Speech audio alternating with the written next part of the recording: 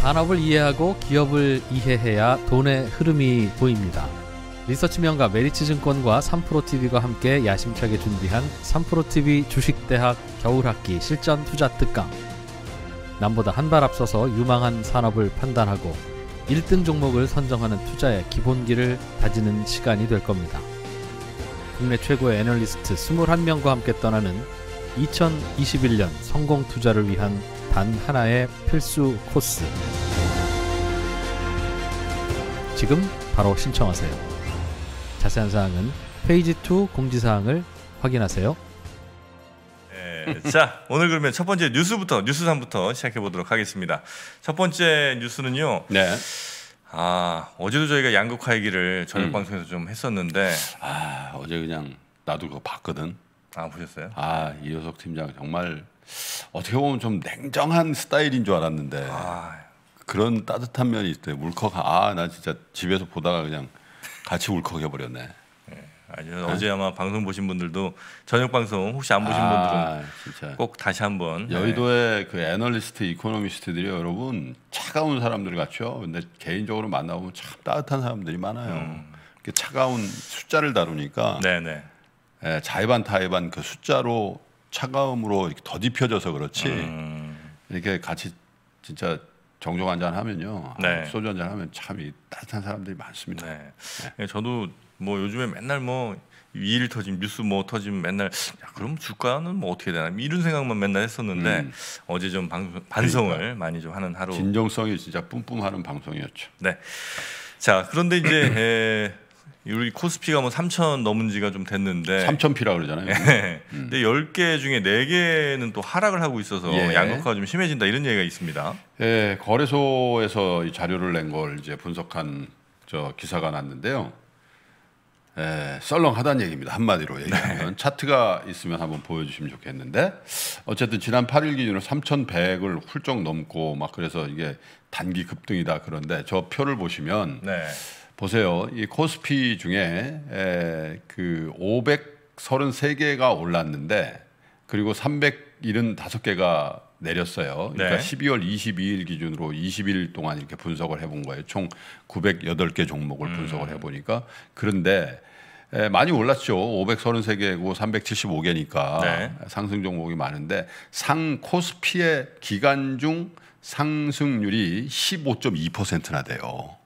네, 그런데 이 상승률을 초과한 종목 수는 네. 133개밖에 안 되고 상승했으나 그거보다 훨씬 못 미친 종목 수가 400개고 그나마 하락한 종목 수가 375개라는 거예요. 아. 그러니까 에, 대체로 이 저 133개, 133개에 포함되어 있는 네, 종목들 네. 말고는 아이고 이거 뭐 올랐다고는 하는데 이거 뭐 에, 이런 분위기가 것 같지도 않고 아니면 거죠. 떨어졌고. 예. 네. 그래서 이제 어떤 종목들이 오르고 어떤 종목들이 빠졌냐 이렇게 보니까 에, 133개 중에 돋보이는 게 야, SK 이노베이션. 이 정유주 아니에요? 네. 정유주에다가 아, 2차 전지를 이제 아. 겸용을 하는 세계 6대 7위, 6위 7위 하는 에, 2차 전지 자동차 배터리 업체인데 무려 61.5%가 올랐고 네. 그다음에 LG전자 뭐 그런 얘기 전장 음. 진출한다 이런 얘기 있었죠. 54%. 요즘에 가장 핫한 종목 중에 하나죠. 현대자동차. 네. 예, 어제도 막판 뒷심을 발휘해서 낙폭을 좀 축소하는 걸 봤는데 45.4. 삼성 SDI 이것도 2차 전지죠. 음. 31.5. 삼성전자가 25.9. 그 보세요. 이게 다 업종 대표주의 시가총액 1위부터 10위 안에 거의 들어갈 만한 종목들이죠. 음. 대표들이. 그러니까 이 종목들이 이렇게 올랐으니까 네. 지수는 굉장히 많이 올랐죠. 지금 대형주 얘기를 합니다마는 대형주가 17.6%가 올랐고 중형주가 5.3, 소형주는 3.1%, 3.7 이렇게밖에 네. 못 올랐다는 얘기인데, 근데 빠진 종목들 한번 불러드릴게요. 신풍 제지 35%. 제지요? 예, 제약인 줄 알았죠. 어. 신풍제지야. 오를 때도 같이 올랐나? 대웅제약 이것도 엄청나게 올랐었었죠. 예, 거의 30%. 메르츠 화재가 이렇게 빠졌어요. 10.7, 기업은행 7.1. 은행주가 시들시들합니다. 왜냐하면 예, 배당에 대한 정부의 아주 정책 이런 것들이 이제 반. 사실은 이제 금리가 뛰면 은행주가 좀 올라야 되는데 예, 우리 배당 이슈가 워낙 커서 그런지 은행주가 시세가 없습니다. 네. 예, 그래서 업종별로 보면 자동차를 포함한 운수장비 지수가 30% 이상 뛰었고요. 전기전자 이게 뭐 예, 삼성전자 같은 거 포함된 거죠. 25% 이상, 제조가 19% 그리고 화학도 많이 올랐어요. 화학. 15.5% 이렇게 올랐는데 말씀드린 은행 6.8 마이너스고 종이 목재 5.9, 전기가스 0.9. 이거는 뭐 한전이 올랐다가 좀 조정을 받는 그런 에, 것 때문에 그런 거 같고요. 섬유유복 마이너스 0.2. 그래서 이런 업종들이 에, 대체로 부진했다 이렇게 에, 설명이 됩니다. 근데 어쨌든 그 사실은 에, 작년 10월, 11월 중순까지만 해도 이런 그 BBIG를 비롯한 이 언택주라든지 네. 또 에, 이런 코로나 상황에 맞는 그 성장주 위주의 장이 확실히 보였거든요. 음. 예, 그런데 이제 에, 백신이 나오는 데다가 또 미국의 바이든 정부의 과감한 경기 부양책 이런 네. 것들이 이제 기대가 되면서 한 가지 이제 두 번째 뉴스도 말씀드리겠습니다만 상황의 변화, 음. 자산 시장의 상황의 변화가 뭐냐? 물가 상승으로 인한 금리 인상, 인상. 예. 예, 금리 상승. 그렇게 되면 어제도 말씀드렸습니다마는 성장주 일변도의 장에서 벗어날 수밖에 없습니다. 음. 예, 그래서 성장주의 힘은 역시 저금리 이런 상황이 계속돼야 되는 건데 네. 예, 저금리 구조에서 좀 벗어날 수 있고 그리고 또 하나는 미국의 금리가 뜬다라는 건 어찌 보면 이제 좀 이따 말씀드리겠습니다. 미국 연준 중앙은행 중앙은행의 에, 완화적인 스탠스로부터의 후퇴를 얘기할 수도 있기 때문에 네. 그런 상황이 되면 지금까지 신흥국 쪽의 상승세의 기반이 됐던 달러 약세, 음. 약달러가 조금은 약화될 수도 있다. 네, 실제로 에, 달러 인덱스가 다시 90선 이상으로 넘어왔단 말이죠. 그래서 그런 것들이 우리 시장에도 지금 상승 종목과 하락 종목의 어떤 에, 추이를 좀 바꾸는 그런 상황이 되는 것 같아요. 그리고 아까도 말씀 일부 드렸습니다마는 에, 상승 종목들을 이렇게 공통적으로 크게 오른 상승 종목들을 분석을 해보면 네. 에, 기존 산업에다가 성장의 엔진을 추가하는 대형주 이렇게 성격 규정을 할 수 있을 것 같아요. LG 전자 뭡니까? 네. 사실 가전 업체인데 여기에다가 이제 전장이라는 네. 성장 산업을 전장. 새로 엔진으로 이제 단다. 현대자동차도 마찬가지죠. 현대자동차도 자동차 제조로만 해서 이런 정도 평가를 받기는 어려웠을 텐데 여기다가 이제 에, 애플과의 합작 가능성 등이 에, 부각이 되면서 어, 전기차 혹은 인공지능차 쪽에 새로운 성장 엔진을 다른 업체에 비해서 확실히 빨리 단다. 네. 라는 그런 인식. 삼성전자도 사실 마찬가지입니다. 디램을 비롯한 메모리 쪽에 치중돼 있는 업체로 그냥 남아 있다 이런 평가를 받았으면 아마 반도체 슈퍼 사이클 뭐 이런 게 온다 하더라도 에, 이렇게까지 에, 굉장한 주목을 받기 힘들 텐데 에, 뭡니까 파운드리. 시스템 반도체 예. 파운드리 쪽에 에, 과감한 투자와 그리고 실적을 낼 가능성이 있다 이런 기대가 있는 거죠. 아까 네. SK 에너지, SK 이노베이션이죠 대표적인 거죠. 네. 정유 업체로만 남아 있었다면 음. 이런 주가 상승은 기대하거든요. 왜냐하면 S-오일이라든지 이런 에, 정유 업체들 주가는 이 정도 못 올라오거든요. 그죠? 그런데 여기다가 2차 전지라는 새로운 성장 엔진을 달았다기 때문에 이렇게 차별적인 주가 상승이 나온다. 그래서 저는 2021년의 주가는 어찌 보면 이 성장 주냐 가치 주냐 굉장히 그, 그 논박이 많잖아요. 네. 그래서 그 교집합을 찾는 노력. 그러니까 가치주 권역에 있던 전통 산업에 속해 있는 주식 중에 네. 이 성장주의 성격을 가미해서 실적을 거양하고 있는 회사들 음. 그런 거로 한동안 머물지 않을까? 왜냐하면 편안하잖아요. 네. 어, 어, valuation multiple을 이쪽으로 좀 줄 수 있는 거 아니야? 아. 아, 근데 이제 무늬만 그러면 안 되고 실제로 뭘- 실질이 예. 실질이 에, 성장의 엔진을 달고 그게 글로벌 표준, 글로벌 스탠다드에도 접근하고 있는 우리 업체라면 음. 한번 좀 다시 평가해 볼 만한 에, 그런 에, 대목이 아닌가 그런 생각이 듭니다. 네. 자, 계속해서 끊임없이 혁신을 해야 되는군요. 네. 자, 두 번째 뉴스 전해드리겠습니다. 이거 좀 걱정되는 뉴스긴 한데 이 연은 총재들이 양적 완화를 좀 축소할 거를 약간 내비치고 있습니까? 어제 뭐 그 방송 보니까 이효석 팀장도 이 네. 테이퍼링에 대해서 설명을 아주 잘 네, 하시더군요. 그래서 정프로가 테이퍼링이 뭐예요? 이렇게 예, 물어. 아 이거 감동이었어요. 왜냐면 우리는 그 테이퍼링 하면 그냥 다 아는 걸로 생각하잖아요. 수도꼭지 잠근다 뭐 이런 아, 표현을 그런 많이? 합니다만은 네.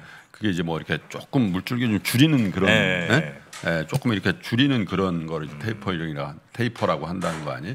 그래서 에, 금융시장의 taper라는 거는 양적 완화, 양적 완화는 건 뭐죠? 금리를 제로 퍼센트까지 낮췄는데도 경기가 안 살아서 중앙은행이 돈을 찍어서 경기 부양하는 걸 양적 완화라고 하는데 그 양적 완화의 양을 조절하는 걸 음. 테이퍼링이라고 하는데 이게 한참 남은 줄 알았는데 벌써 얘기가 나온다는 거예요. 네, 네, 네. 예, 그런데 그 얘기의 진원지가 어디냐?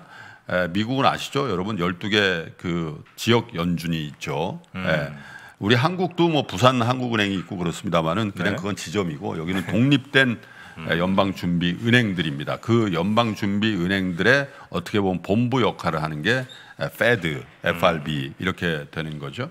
근데 연방 에, 지역 연준 총재들, 연, 지역 지역 연은 총재들이 연이어서 네. 테이퍼링의 가능성을 언급하는 얘기를 하고 있습니다. 예를 들면 로버트 카플란 미국 댈러스 연방준비은행 총재가 음. 에, 화상 town hall meeting을 했는데 올해 미국 경제가 강하게 성장하면서 연준의 이례적인 통화 완화책의 일부를 되돌릴 수 있기를 기대한다. 음, 굉장히 그 조심스럽게 얘기한 거죠. 기대한다라는 얘기를 했고 일부를 음. 이렇게 했기 때문에 그럼에도 불구하고 이 어휘는 테이퍼링 할 수 있다 이런 얘기로 해석을 하는 거죠. 네. 그리고 라파엘 보스틱 애틀란타 연방준비은행 총재도 에, 질의응답을 에, 어떤 기관에 가서 했는데 시장 금리가 당초 전망보다 빨리 오를 수 있다 이렇게 얘기를 하면서 이런 일이 일어날 경우 완화 정책으로부터 후퇴와 재조정, 정책 금리 변경 등을 지지할 준비가 돼 있다. 이건 훨씬 더 많이 나간 얘기입니다. 에, 완화 정책으로부터 후퇴와 재조정은 테이퍼링인데 네. 정책 금리의 변경은 금리 인상을 얘기하는 거거든요. 음. 금리 인상은 언제까지 언제까지 안 한다 그랬어요? 2023년까지 안 한다 그랬잖아요. 네, 네. 근데 그것도 변경할 수 있, 변경한다면 지지할 준비가 돼 있다. 이렇게 음. 얘기를 한 거니까 이거는 사실은 에, 기존의 연준의 입장, 금리 네. 정책에 관한 한 입장과 상당히 배치된 음. 에, 발언을 에, 한 거란 말이에요. 그래서 어쨌든 작년 12월에 연방 공개시장위원회 FOMC 의사록에 테이퍼링이 언급이 된 것만 하더라도 시장에 조금은 에, 불안감을 주고 있는데 에, 잇따라 나온 지역 연준 에, 연방준비은행 에, 총재들의 이 테이퍼링에 관련된 얘기들 거기다가 에, 제임스 블러드 세인트루이스 연은 총재도 인플레이션이 예상보다 더 빠르게 상승할 수 있다고 했고 에, 패트릭 하커 필라델피아 연은 총재도 올해 말 혹은 내년 초에 채권 매입 프로그램의 축소 가능 이게 테이퍼링이죠. 네. 에, 이렇게 언급을 하고 있기 때문에 아마도 에, 계속되는 그 FOMC 회의에 우리는 훨씬 더 불안한 마음을 가지고 왜냐하면 에, 어제도 그런 얘기를 합디다마는 에, tapering tantrum이라는 용어를 우리가 쓰거든요. 발작 뭐 에, 이런 거. 과거에 보면 네. 아 이게 연준에서 이게 수도꼭지를 잠근다 그 발언 한 것만 해도 그냥 음. 막 경길했어. 근데 그때 가장 많이 충격을 받는 데가 어디냐? 신흥국 음. 주식이에요. 왜? 네. 아까 말씀드린 테이퍼링 한다는 건 완화적인 정책의 스탠스를 바꾼다. 네. 그러면 달러가 강세 전환한다. 음. 달러 강세 전환하면 신흥국 자산은 빠, 빠져나가니까. 반대로 간다. 네. 이렇게 이제 통상 생각이 하기 때문에 그러나 이제 반대 쪽에서는 야 지금 미국 경기가 이렇게 돼 있는데 예전처럼 뭐 어디다가 대고 이렇게 음. 생각하는 에, 애널리스트도 굉장히 많습니다. 그리고 친절하게 가이던스를 준다고 했기 때문에 네. 아마도 상당 기간 시간을 앞서서 음. 어, 테이퍼링에 대한 예고도 마일드하게 네. 할 가능성을 에, 염두에 둔 그 분석가들도 많거든요. 그래서 한번 어쨌든 지켜보자고요. 금리가 에, 좀 오르고 있는 상황이니까 이런 가능성이 조금 조금씩 커지는 건 사실이다 이렇게 봐야 될 것 같습니다. 네. 자 그리고 뉴스 3 세 번째 뉴스 빨리 전해드리겠습니다. 아, 르노하고 플러그 예. 파워가 수소 트럭을 공동 개발합니까? 플러그 파워라는 미국의 네. 수소 연료 전지 업체가 있어요. 이게 사실 우리한테는 잘 안 알려져 있습니다만은 이게 상장 시총 어마어마하죠 여기도. 예? 시총도 굉장히 큰데 아닙니까? 아 이게 상장돼 있는데 거의 10배 올랐죠. 예. 아, 10배 우리 올랐- 우리는 잘 모르는 업체지만 예. 10배 올랐는데 이, 이 플러그 파워가 어제 발표를 한 게 최근에 이제 한 2시간 전에 속보로 들어와 있는 건데 네.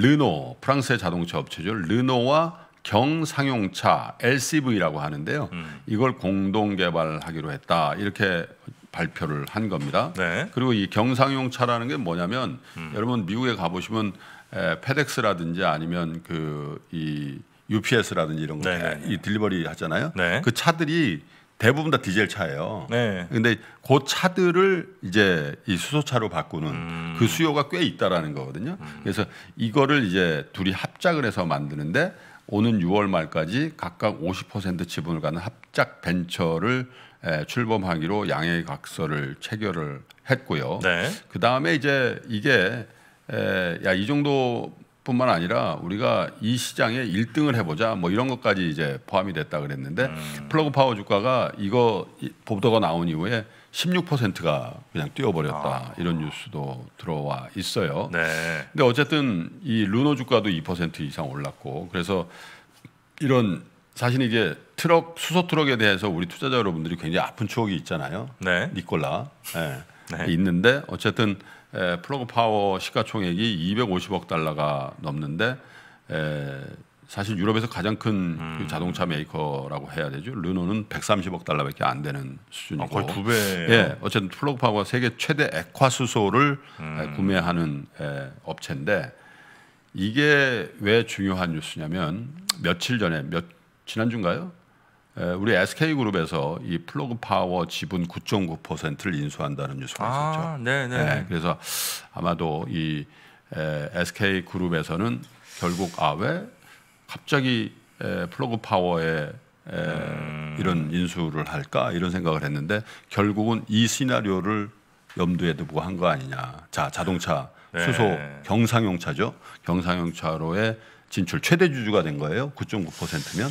예. 그래서 예, 그런 어떤 그래서 사실은 제가 몇 번 말씀드렸습니다만 네. 우리 대기업들의 글로벌 시장에서의 M&A 이게 굉장히 큰 화두가 되고 있습니다 지금. 음. 그래서 에, 뭐 대형주 장세다 이런 말씀드렸습니다만 대형주 장세의 여러 가지 이유 중에도 에, 그 대형주들이 글로벌 M&A 시장에서 유력한 회사들을 인수 합병하거나 네. 아니면 조인트 벤처를 하거나 이러한 뉴스들을 대부분 동반하고 있거든요. 음. 그래서 이런 에, 새로운 그 산업의 진출을 적극적으로 동원하고 그게 그들이 하고 있는 에, 기존 산업과 시너지가 폭발되는 것들에 대한 기대가 있다.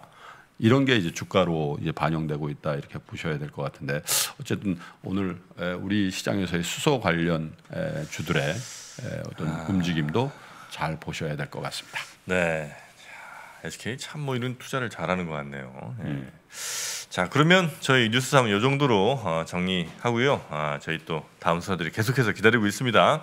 우리 박병창 부장님과 함께 아, 미국 시장 마감 상황 좀 봐야 되는데 네. 아, 저희가 하나만 좀 뭐 공지 좀 해드리자면 저희와 함께 일하실 분을 저희가 좀 찾고 있지 않습니까? 그래서 어, 저희 뭐 제작 관련된 어, 분들이라든지 아니면 또 우리 시청자분들 일일이 또 아, 만나야 될 분들 네, 시청자 여러분들 이렇게 잘 더 support하는 네. 그런 일들을 좀 해야 되는데 일손이 좀 모자른다 그래서 뭐할수 없이 뜻이 있는 분들 그리고 저희 3%또 같이 하고 싶은 분들 어, 많은 지원을 기다리겠습니다. 뭐 사람인 들어가셔서 찾으셔도 되고요. 아니면 apply 골뱅이 ebroadcasting.co.kr로 네. 이메일 지원하셔도 감사하겠습니다. 골뱅이란 표현 참 좋네요.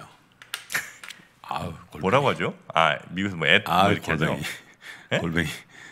뭐라고 하셨다고요? 아니 골뱅이 먹고 싶다고. 아 골뱅이 드시고 싶다고요? 갑자기 쏠리네. 골뱅이는 또 을지로 쪽 아닌가 싶습니다. 자 그러면 잠시 전화 말씀만 듣고 하세요. 바로 교보증권의 박병창 부장님 모시겠습니다. 네.